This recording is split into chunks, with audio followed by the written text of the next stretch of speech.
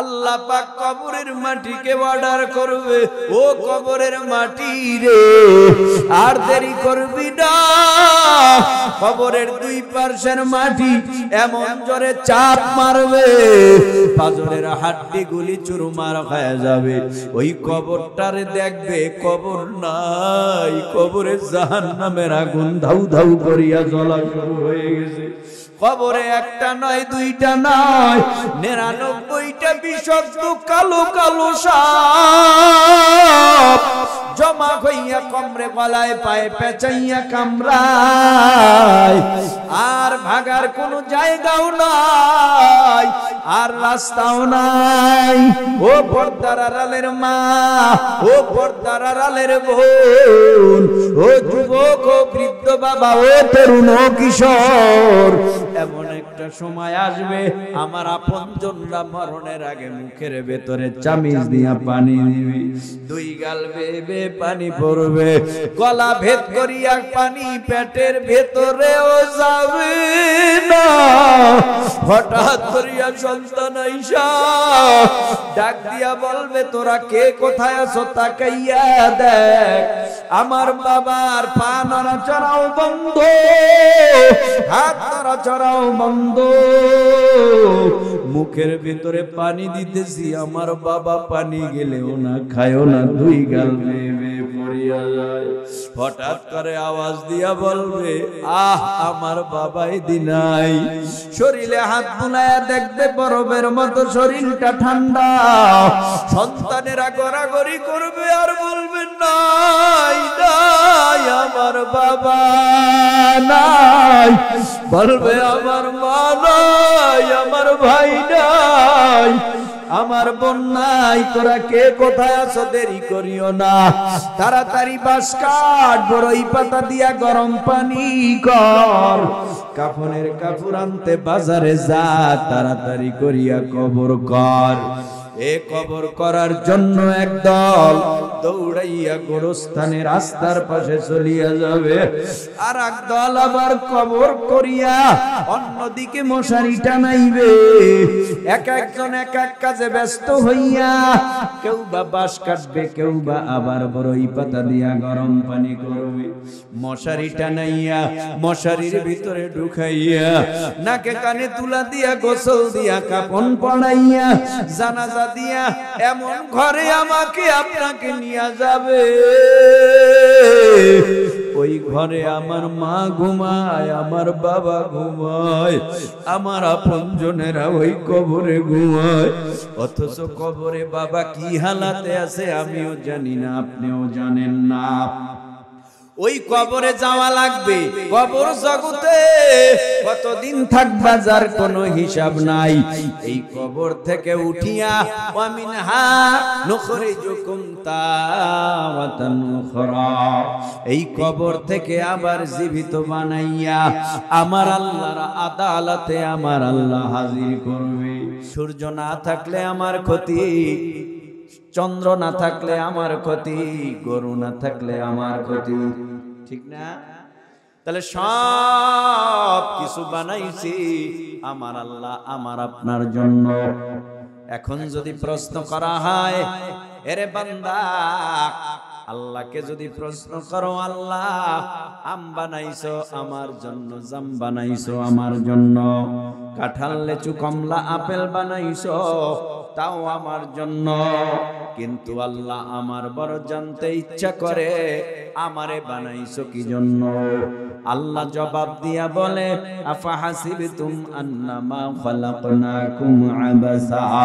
তোমরা কি এই ধারণা করেছ? তোমাদেরকে অনর্থক বেহুদা অযথা বানাইলাম। বান্দা, না না। আল্লাহ পাক অন্য আয়াতে বলে ইনসা ইল্লা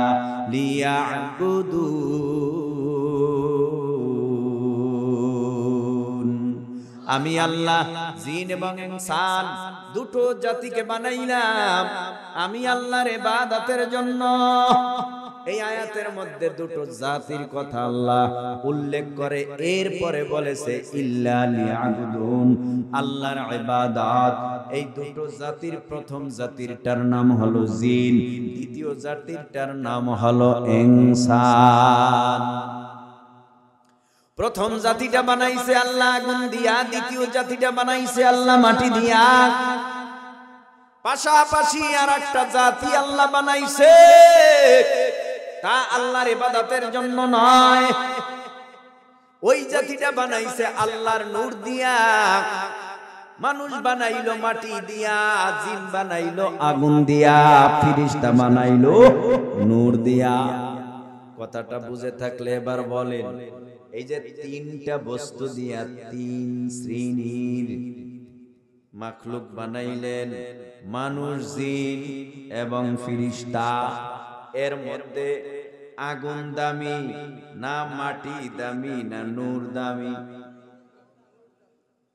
ঘুমা হেনি আগে। জোরে। দামি কি দামি কি?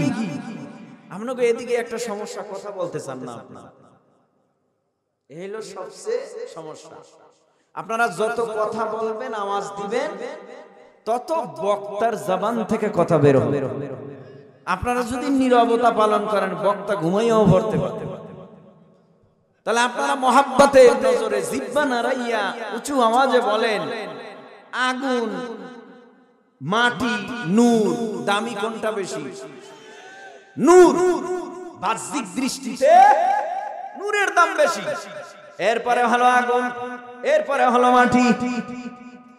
এ পর্দার অন্তরালার মা বোনেরা, এ মুরব্বী বাবা, ও যুবক ভাই, তরুণ ভাই, কিশোর ভাই, জিব্বাটা দিয়া একটু মহাব্বাতে উঁচু আওয়াজে বলো, জিন বানাইছে যিনি তিনি কে মানুষ বানাইছে যিনি তিনি কে ফিরিস্তা বানাইছে যিনি তিনি কে মানুষও বানাইলো আল্লাহ, জিনও বানাইলো আল্লাহ, এবং ফিরিস্তাও বানাইলো আল্লাহ।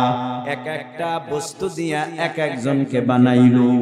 মানুষ হলো তিন নাম্বারে, সিরিয়াল নাম্বারে, তিনে। কিন্তু আল্লাহ কয়, না না, তিন নাম্বারে যদিও মানুষ আমি আল্লাহ, মাটি দিয়া বানাইছি, আগুন দিয়া নয়, আমি আল্লাহ যদিও নূর দিয়া বানাই নাই। মানুষ বানাইছি মাটি দিয়া, এই মানুষের মধ্যে আমি আল্লাহর দেওয়া যদি কোনো বিধান থেকে থাকে, আমি আল্লাহর দেওয়া যদি কর্মসূচি এই বান্দারা মানে এই মানুষটা যদিও আগুনের না, নূরেরও না, আমি আল্লাহর কর্মসূচি মানলে এই মাটির মানুষটা আগুন আর নূরের তৈরি ফিরিস্তার চাইতেও আরও বেশি দামি হয়ে যায়। এরে আল্লাহর গোলাম এই জন্য আল্লাহ পাক আমাকে বানাইছে মাটি দিয়া। দুনিয়ার জমিনে সর্বপ্রথম যেই জাতি আমার আল্লাহ বানাইছে,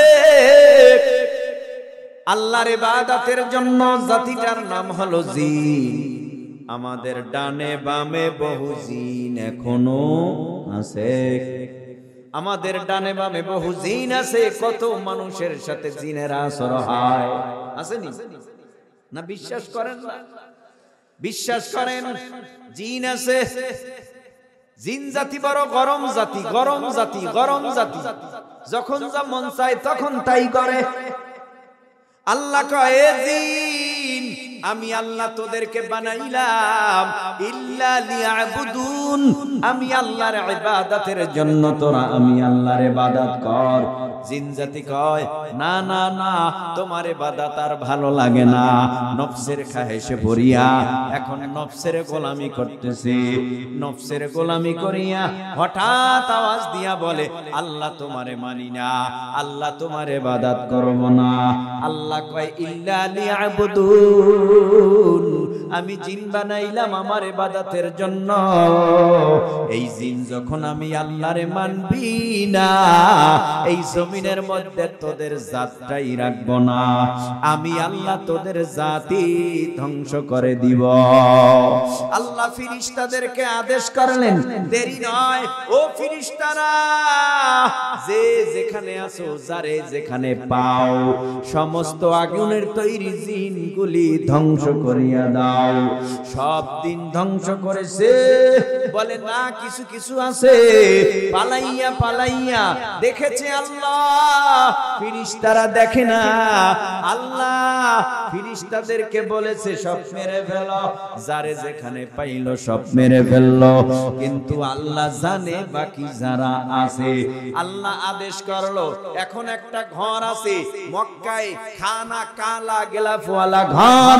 খানায় কাবা বাইতুল্লাহ একটু আওয়াজ দিবেন ভাই ওই খানায় কাবা বাইতুল্লাহ কালা গেলা ফোয়ালা ঘর টাকার ইন্না আউয়ালা বাইতি উদিআ লিন্নাস লাল্লাযী বিবাক্কাতা মুবারাকান ওয়া হুদাল লিল আলামিন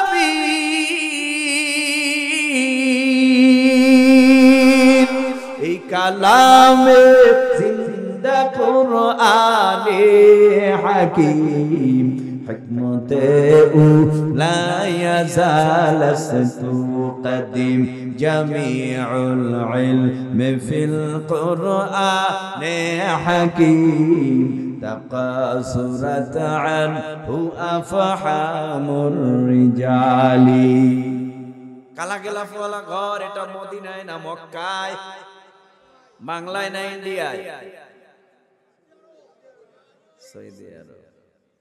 সৌদি কালা গেলাফওয়ালা ঘর। আল্লাহ কয় এটা মক্কায় অবস্থান করে।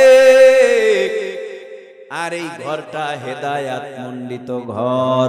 এই ঘরের চতুর্দিক দিয়া যখন কোন হাজি সাপ লাভবাইকের আওয়াজ দেয়, লাভবাইকের আওয়াজ দেওয়ার সাথে সাথে আমার আল্লাহ এই হাজির জীবনের সব গুণা মাফ করে দেয়।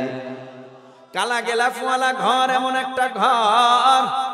ওই ঘরের সাথে এমন এমন কিছু জিনিস লাগানো আছে, চুম্বুকের মতো, রাডারের মতো হাজি শব্দের টানে। ওই ঘরের মধ্যে একটা দরওয়াজা আছে এই ঘরের দরওয়াজা ধইরা আল্লাহর আদালতে দোয়া করলেই দোয়া কবুল। সুবহানাল্লাহ। বাড়ি যাইয়া কইেন না, এখানে বইয়া কোন, আরও জোরে কোন, সুবহানাল্লাহ। ওই ঘরের সাথে জান্নাতি একটা পাথর লাগানো আছে, পাথর। পাথরটার নাম হলো হজরে আসওয়াদ পাথর। চুমু খাইলেই গুনামা সোবাহান আল্লাহ লাভবাইকের আওয়াজ দিবা। আল্লাহ গুনা মাফ করে দিবে। এটা এমন একটা ঘর বেনামাজিও তাওয়াফ করলে আল্লাহ তারে নামাজি বানাইয়া দেয়। বে ইমানওয়ালারা তার মানে অল্প ইমানওয়ালারা মক্কা মদিনায় গেলে বেশি ইমানওয়ালা হয়ে যায়। তবে টাকা লাগবে হালাল। হালাল টাকা নিয়ে যারা মক্কা মদিনায় লাভবাইকের আওয়াজ দেবে, নবীর রওজা জিয়ারত করবে। কসম আল্লাহর, এই হজ আল্লাহর আদালতে কবুল হয়ে যাবে হালাল টাকার হজ। বাংলাদেশে আসার পরেও দেখবা এই আল্লাহর বান্দার আমল আখলাক ঠিক হয়ে গেছে। আর মক্কা মদিনায় যারা হারাম টাকায় দৌড়ায়, রাগ করবেন মক্কা মদিনায় কত মানুষ হারাম টাকায় দৌড়ায় সুদের টাকায় দৌড়ায় ঘুষের টাকায় দৌড়ায়। টাকার মধ্যে হারাম, আর লাভবাইকের আওয়াজ দেয়। হারাম টাকার ভেতর তোমার কোনো শান্তি নাই, আর হজ কবুল হবে না। তাই তো কত হাজি মক্কা মদিনার থেকে আইসা, সে ভালো হওয়ার কথা ছিল, ভালো হইবে তো দূরের কথা।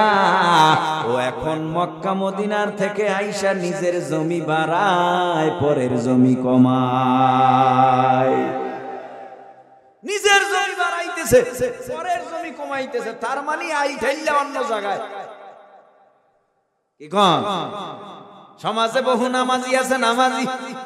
নামাজ পড়তে পড়তে কপালে দাগ পড়ে গেছে। এখনও মিথ্যা ছাড়ে না, সুদ ছাড়ে না, ঘুষ খা ছাড়ে না, অন্যায় ছাড়ে না, পরনিন্দা ছাড়ে না, গিবাদ ছাড়ে না শেখা ছাড়ে না। এখনও এমন নামাজি সমাজে আছে না নাই? তাহলে কি কষ্ট করো খালি গেলি, ফালতু কষ্ট। কি কষ্টটা করতেছো? ভেজালটা কোথায়?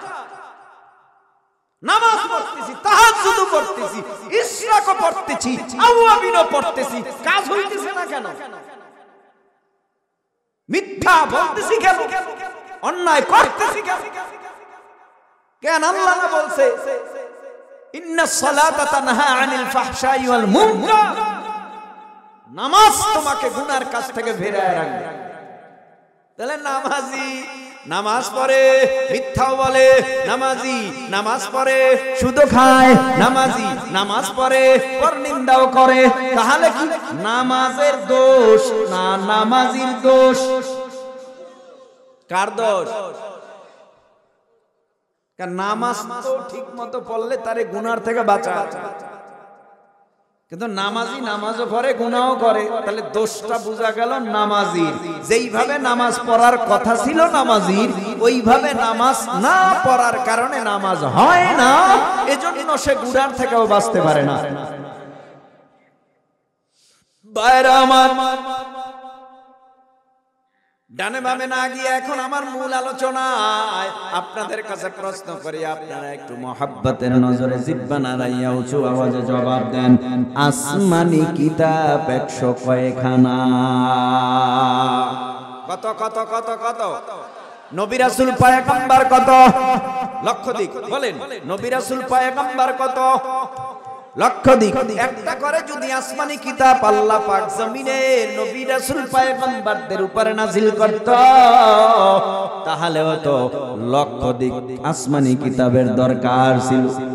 বোঝা গেল লক্ষ দিক নবী রাসূলের উপরে আমার আল্লাহ। লক্ষ দিক আসমানি কিতাব নাজিল করেন নাই। তার মানে 104 খানা আসমানি কিতাব, তাও 104 জন নবীর উপরে নাজিল হয় নাই। মাত্র কয়েকজন নবীর উপরে আমার আল্লাহ এই একশো চারখানা কিতাব নাজিল করলেন।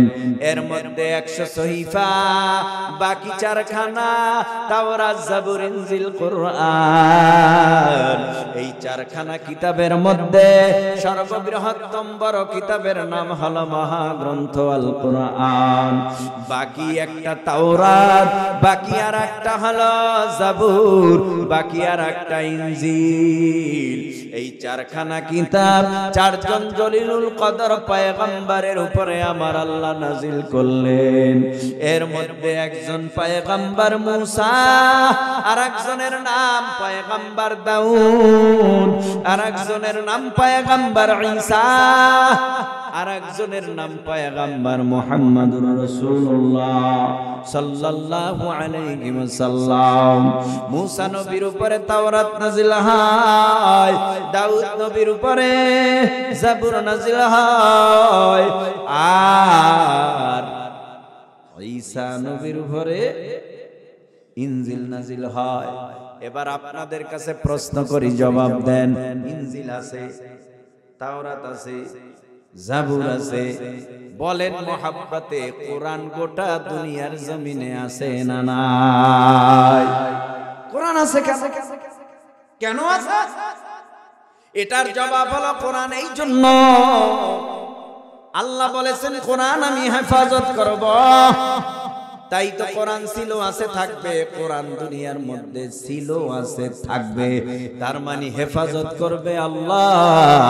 এই কোরআনের সাথে যারা বেয়াদবি করেছে, তারা ধ্বংস হয়ে গেছে। এখনও যারা বেয়াদবি করবে, তারা ধ্বংস হয়ে যাবে। যে আমার পর্যন্ত যত বেঈমানেরা কোরআনের সাথে বেয়াদবি করবে, আল্লাহর গজবে তারাও ধ্বংস হয়ে যাবে, ঠিক কিনা? কোরআন কি জিনিস? এটা তো বুঝি না। কোরআন কি জিনিস বুঝি না। কোরআন দেখলে কি? বলেন ধরলে দেখলে কি? নামাজে পড়লে কি? বাহিরে পড়লে কি? সব দিকেই কোরআন এত দামি কিতাব। এই কোরআন এমন একটা কিতাব, যেই কিতাবের দিকে তাকায়া থাকলে ও সওয়াব। রাত্রে কোরআন নাজিল হলো রাত্রের দাম, মাসে কোরআন নাজিল হলো মাসের দাম। এই কোরআনটা যেই ঘরে থাকে, যেই ঘরে তেলাওয়াত হয়, ওই ঘরের দাম। এই কোরআনটা যার সিনার মধ্যে আছে, ওই ব্যক্তির দাম। মাওলানার দাম, কোরআনের বরকতে, মুফতির দাম, কোরআনের বরকতে, হাফেজের দাম, কোরআনের বরকতে, একজন মুহাদ্দিসের দাম কোরআনের বরকতে। তার মানে হলো, কোরআন যেখানেই যায়, সেই জায়গা দামি বানায়া দেয়। এই জমিনের মধ্যে একজন হাফেজ সাহেবের বাবার দাম কোরআনের বরকতে। মারো দাম কোরআনের বরকতে। কেয়ামতের ময়দানে ওই সূর্য যখন মাথার উপরে তা দিবে, সূর্যটা নয় কোটি তিরিশ লক্ষ মাইল দূর থেকে তা দেয় জমিনে। হাসরের ময়দানে সূর্যটা মানুষের মাথার অতি নিকটে চলে আসবে। আল্লাহর নবী বলেন, উম্মতের দল কিয়ামতের ময়দানে যারা হাফেজ হবে, এদের মা বাবার মাথায় এত সুন্দর নুরানি একটা টুপি পরানো হবে, যারা আলোতে সারা দুনিয়া আলোকিত হয়ে যেত। এই টুপিটা পরার জন্যই যত মেহনত, যত কষ্ট, ঠিক না? সেই কোরআন থেকে আপনাদের পরিচিত একটা আয়াতে কারিমা তেলাওয়াত করলাম। আল্লাহ পাক রব্বুল আলামিন বলেন মিন মিনহা খালাকনাকুম। বলেন মিন মিনহা খালাকনাকুম ওয়া ফিহা নুঈদুকুম ওয়া মিনহা নুখরিজুকুম তারাতান উখরা।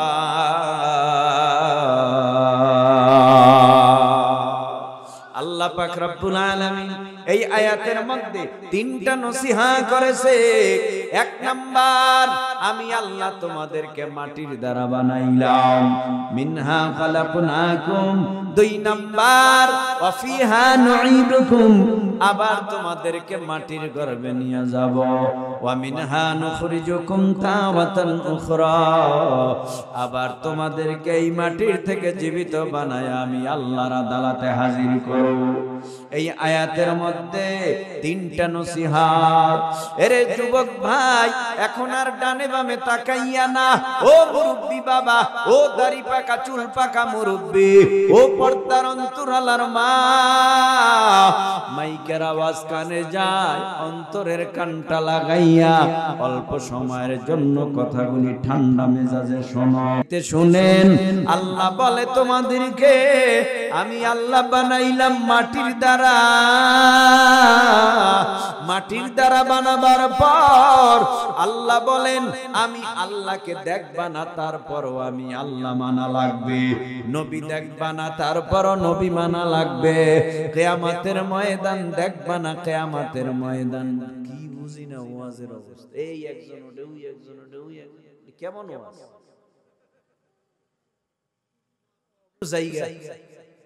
মেহমান আইলে বাড়িতে, মেজবান যদি পিছনের দরজা দিয়ে ভাইগা, যায় দোকানে ফানসা বায়ার কয়। মেহমান আইছে ঘরে। ভালো লাগে না।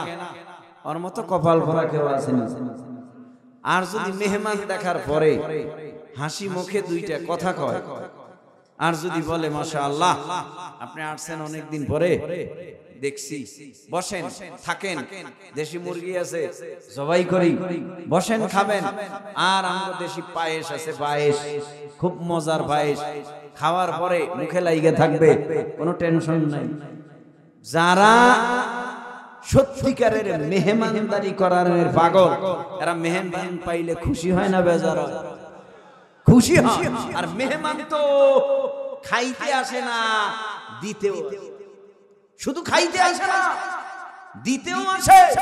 তাফসিরের কিতাবে আছে একজন মেহমান যেই বাড়িতে মেজবান হয় ওই মেজবান ওয়ালাদের জন্য ছয় জনের রিজিক নিয়ে ঢুকে।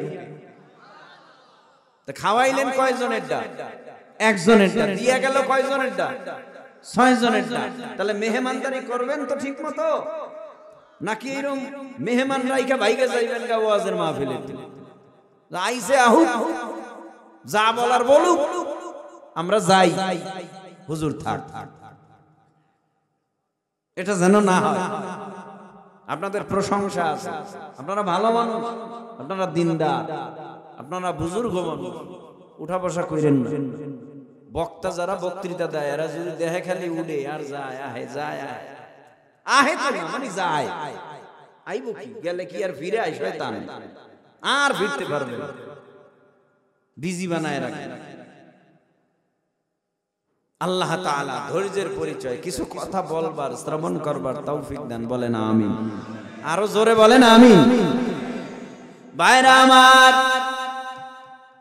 আল্লাহ কয়, আমি আল্লাহকে দেখব না, তারপর আমি আল্লাহ মানবা। আমানতু বিল্লাহি ওয়া মালাইকাতিহি ওয়া কুতুবিহি ওয়া রুসুলিহি ওয়াল ইয়াউমিল আখিরি ওয়াল কদরি খাইরি ওয়া শাররিহি মিনাল্লাহি তাআলা ওয়াল বা'সি বা'দাল মাউত।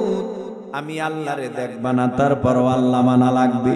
আমরা ফিরিস্তা দেখি না আমরা নবী দেখি না আমরা আল্লাহ দেখি না। আল্লাযীনা ইউমিনুনা বিল গায়বি ওয়া ইউকিমুনাস সালাতা ওয়া মিম্মা ওয়া মিম্মা রাযাকনাহুম ইউনফিকুন।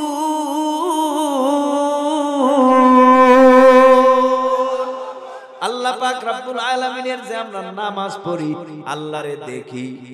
আরও জোরে বলেন, নামাজ পড়ি, আল্লাহরে দেখি না। গায়েবের উপরে বিশ্বাস করে আমরা আল্লাহ মানি, আল্লাহর নবীকে মানি, নবীরেও আমরা দেখি নাই। এই জন্য এক নম্বরে ঈমান, আল্লাহ বলে, আমি আল্লাহর তরফ থেকে এক নাম্বার কর্মসূচি তোমাদেরকে মাটি দিয়া বানাইয়া দিলাম। এক নাম্বার কর্মসূচি আমারে না দেখে তোমরা বিশ্বাস করবা। আমি আল্লাহরে দেখবা না। তারপরেও আমি আল্লাহকে তোমার মানা লাগবে। দুই নাম্বারের কর্মসূচি আল্লাহর দুই নাম্বার কর্মসূচির নাম হলো নেক আমল। আল্লাহ এক আয়াতে এই দুইটা কর্মসূচির ব্যাপারে জানায় দেয়, যদি মানো কি অবস্থা হবে। ইন্নাল্লাযীনা আমানু ওয়া সলিহাতি কানাত লাহুম জান্নাতুল ফিরদাউসি নুজুলা খালিদিনা ফিহা লা ইয়াবগুনা আনহা হিওয়ালা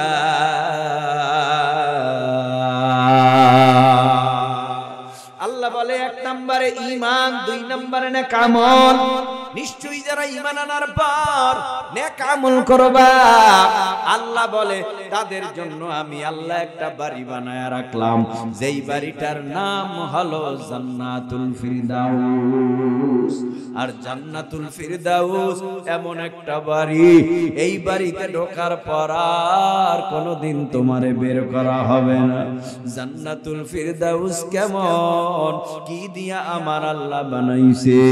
আল্লাহ বলেন, ও নবী, আপনি আপনার উম্মতকে জানায় দেন।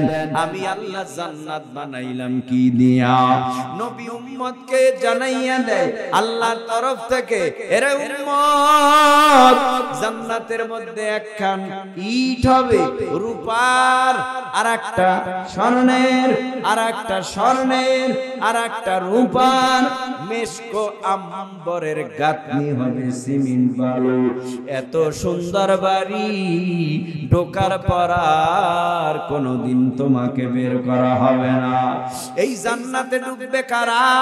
ইন্নাল্লাযীনা আমানু, যারা ঈমান আনবে।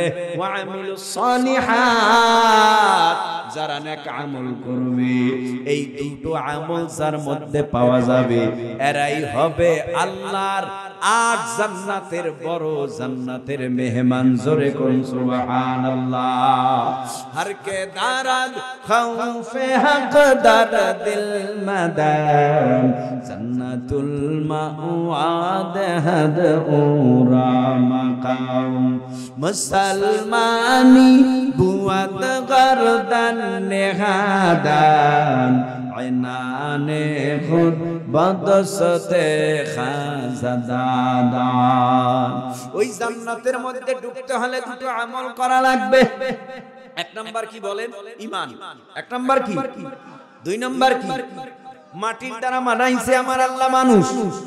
মিনহা খলাকনাকুম। আল্লাহ মাটির দ্বারা বানাইলাম। এই, মাটির দ্বারা শুধু মুসলমানকে বানায় নাই, হিন্দুদেরকে বানাইছে। বৌদ্ধ খ্রিস্টান সারা চাকমা আমার অজান্তে যত ধর্ম আছে, সকল ধর্ম অবলম্বীকে আমার আল্লাহ মাটির দ্বারা বানাইছে। মাটির দ্বারা বানাবার পর আল্লাহ কর্মসূচি দিছে। এক নম্বরে, আমাকে না দেখে তোমাদের মানা লাগবে। নবীর উম্মত, একটু জিব্বাটা উঁচু আওয়াজে জবাব দিয়া বলেন মুসলমান সারা বাকি যারা আছে তারা আল্লাহকে মানে। মানে মানে মানে।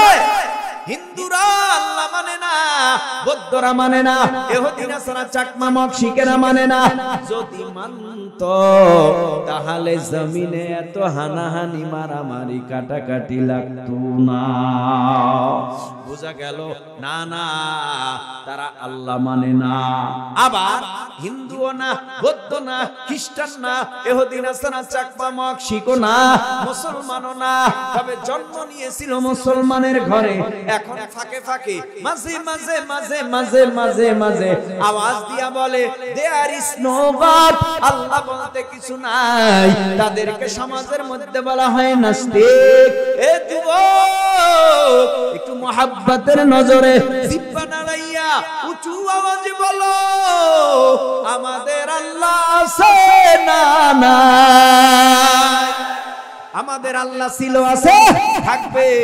যেই বেঈমানেরা বলে, আল্লাহ নাই। মূলত এরা মানুষ না, মানুষ নামের কুত্তা। যারা বলে, আল্লাহ নাই। আরে রাস্তা দিয়ে হাইটা গেলে, যদি একটা গরু হেঁটে যায়, এই গরুর পায়ের চিহ্ন দেখলেও তো বোঝা যায় গরু কিছুক্ষণ আগে হেঁটে গেছে। গরুর পায়ের সাপ, কুকুরের পায়ের সাপ। এরে নবীর উম্মত, মুরগি হাইটা গেল, মুরগির পায়ের সাপ দেখা যায়। ঠিক কিনা? তাহলে বোঝা গেল, এত নিদর্শন আমার আল্লাহর। আসমান, জমিন, চন্দ্র, সূর্য কত কিছু আমার আল্লাহ বানাইছে। আল্লাহ কয়, আমি যদি নাই থাকতাম, কে এগুলা বানাইলো? বোঝা গেল আমার আল্লাহ ছিল, আছে, থাকবে। যারা বলে, দেয়ার ইসনো বাট আল্লাহ বলতে কিছু নাই। তারা একদিন ছিল না, এখন আছে, ভবিষ্যতে তারাও থাকবে না। ঠিক কিনা কিন্তু আমার আল্লাহ ছিল, আছে। ইন্নানি আমাল্লাহ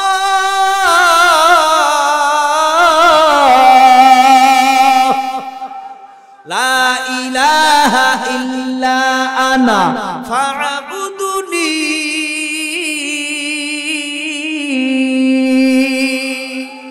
আল্লাহু আকবার কয়েকজনে বাকিরা জবানটা বন্ধ করে রাখেন কোন উঁচু আওয়াজে বলেন আল্লাহু আকবার।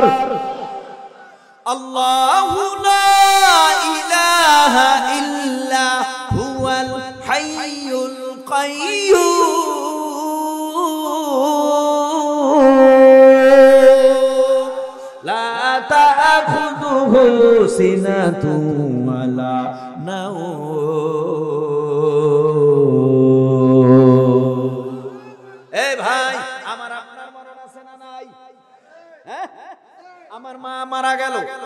আমার বাবা মারা গেল, আমার দাদা মারা গেল, আমার দাদু মারা গেল, নানা মারা গেল, নানু মারা গেল। এরপরেই তো আমার পালা। কখন আজরাইল আসবে? আমার জান কবজটা করে নিয়ে যাবে। তার মানে আমি মরব, আমার ছেলে মারা যাবে, আমার মেয়ে মারা যাবে। দুই কাঁধে দুইজন ফিরিস্তা আছে। এরাও মারা যাবে, আজরাইলও মারা যাবে, জিবরাইল আলাইহিস সালামও মারা যাবে। মিকাইল আলাইহিস সালাম মারা যাবে। কোন নবীরা দুনিয়ায় নাই, যত ফিরিস্তা, তারাও মারা যাবে। মারা যাবে না একজন একজন একজন। মোহাব্বতের নজরে বলো তিনি কে? আল্লাহ বলে আল্লাহ লা ইলাহা ইল্লা হুয়াল হাইয়ুল কাইয়্যুম আল্লাহ বলেন, আমি চিরঞ্জীব, আমি চিরস্থায়ী, আমার লয় নাই, আমার ক্ষয় নাই, আল্লাহর জিমানি নাই, আল্লাহর তন্দ্রাও নাই। এ বলেন মোহাব্বতে, এই মুহূর্তে আমার আল্লাহ আমাদেরকে দেখে নাকি দেখে না। আমাদের ডানে আছে কে? কে? কে? বামে কে? সামনে কে? পিছনে কে? লিল্লাহিল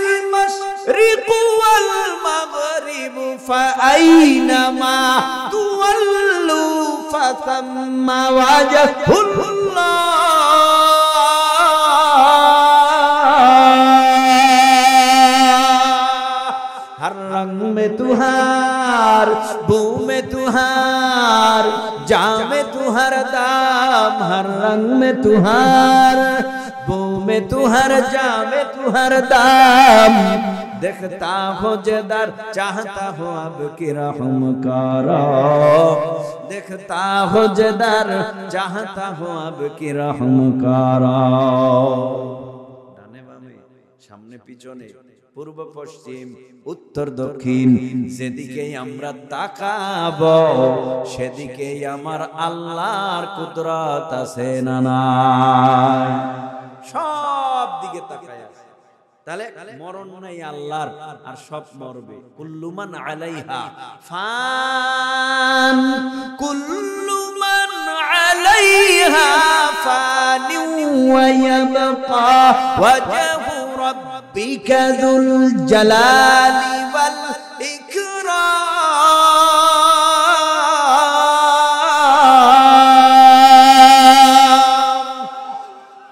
সব ফানা হবে আল্লাহ ফানা হবে। কথা কন না কেন?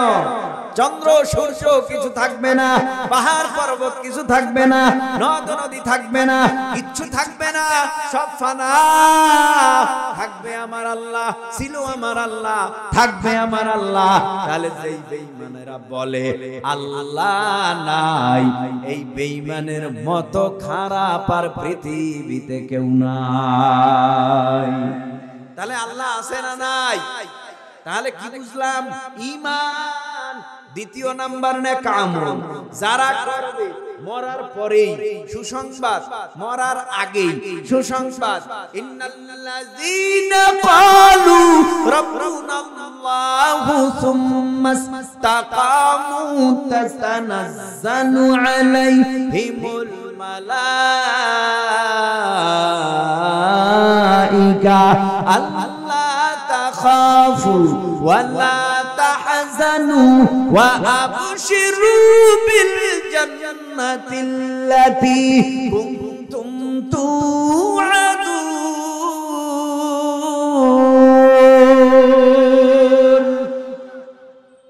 যারা আল্লাহর খাঁটি বান্দা নেক করনেওয়ালা ইমানদার এদের সামনে আজরাইল রহমতের পাঁচশো ফিরিস্তা নিয়ে আগমন করবে সুবহানাল্লাহ পাঁচশো ফিরিস্তা নিয়ে আগমন করার পর এদেরকে বলবে, তোমাদের ভয় নাই, তোমাদের চিন্তা নাই। আল্লাহ তাখাফু, কোনো ভয় নাই। ওয়ালা তাহজানু, কোনো চিন্তা নাই। ওয়া আবশিরু বিল জান্নাতিল্লাতি কুনতুম তুআদুন। যেই জান্নাতের জন্য, আল্লাহ যেই জান্নাত দেওয়ার জন্য ইমানদার ও নেক করনেওয়ালার প্রতি আল্লাহ ওয়াদা করেছিলেন যেই জান্নাতের আমার আল্লাহ তোমার সামনে এই জান্নাত দিয়ে দিল। লও এই জান্নাত তোমার, মরণের পরে এই হবে তোমার ঠিকানা। বাইরা আমার এই জন্য জান্নাতে যেতে হলে কয়টা দরকার, কয়টা আমল দরকার? এক নাম্বার। দুই নাম্বার, নেক আমল। এরপরে আল্লাহ বলে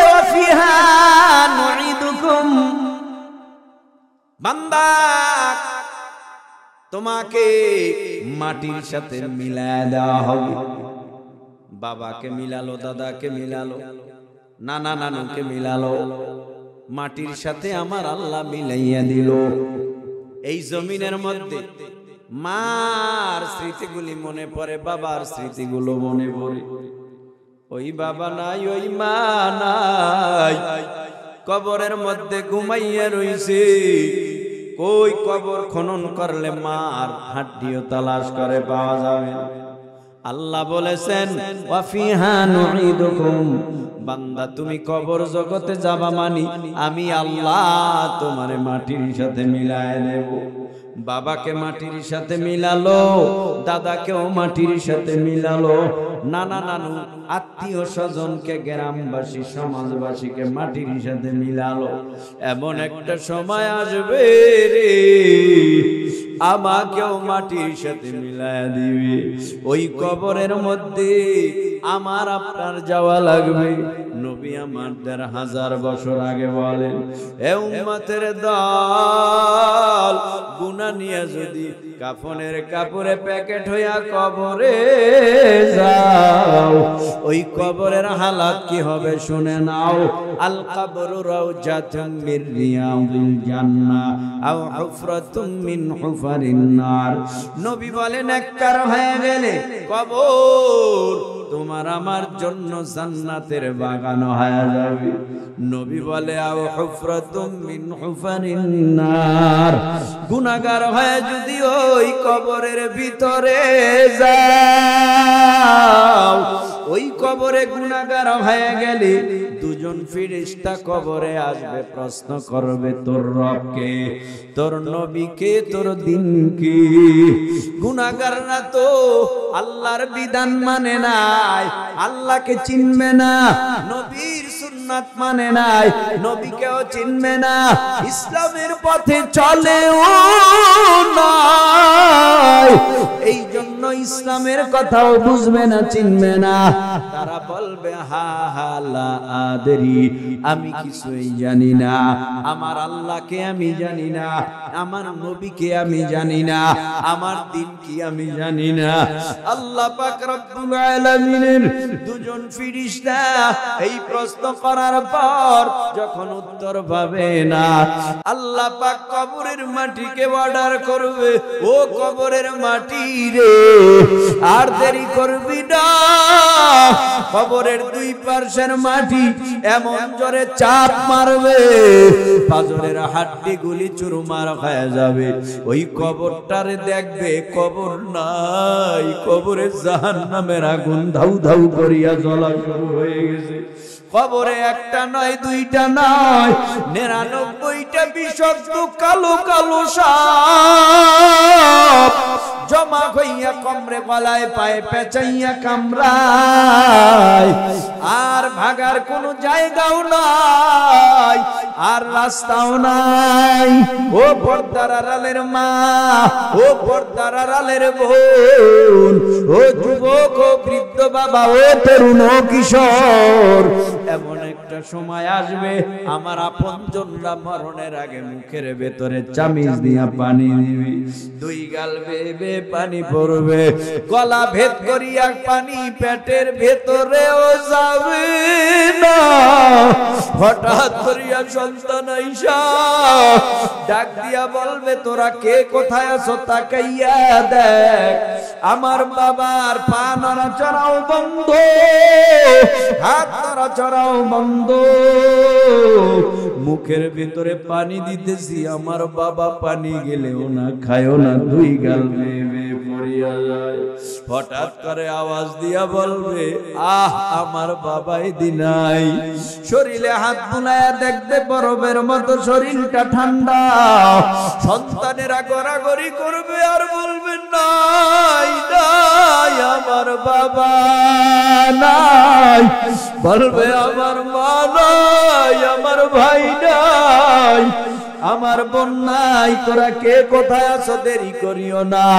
তাড়াতাড়ি বাস কাঠ, বড়ই পাতা দিয়া গরম পানি কর। কাফনের কাপড় আনতে বাজারে যা, তাড়াতাড়ি করিয়া কবর কর। কবর করার জন্য একদল দৌড়াইয়া গোরস্থানে রাস্তার পাশে চলিয়া যাবে। আর একদল আবার কবর করিয়া অন্যদিকে মশারি টানাইবে। এক একজন এক এক কাজে ব্যস্ত হইয়া কেউ বা বাস কাটবে, কেউ বা আবার বড়ই পাতা দিয়া গরম পানি করবে। মশারি টানাইয়া মশারির ভিতরে ঢুকাইয়া নাকে কানে তুলা দিয়া, গোসল দিয়া, কাপন পড়াইয়া জানাজা দিয়া এমন ঘরে আমাকে আপনাকে নিয়ে যাবে। ওই ঘরে আমার মা ঘুমায়, আমার বাবা ঘুমায়, আমার আপনজনেরা ওই কবরে ঘুমায়। অথচ কবরে বাবা কি হালাতে আছে আমিও জানি না, আপনিও জানেন না। ওই কবরে যাওয়া লাগবে। কবর জগতে কতদিন থাকবা যার কোনো হিসাব নাই। এই কবর থেকে উঠিয়া, ওয়ামিনহা এই কবর থেকে আবার জীবিত বানাইয়া, আমার আল্লাহর আদালতে আমার আল্লাহ হাজির করবে। আল্লাহ সূরা ইয়াসিনের এক আয়াতে জানাইয়া দেয় ওয়া নুফিখা ফিস সূরি ফাইদা হুম মিনাল আজদাসি ইলা রাব্বিহিম ইয়ানসিলুন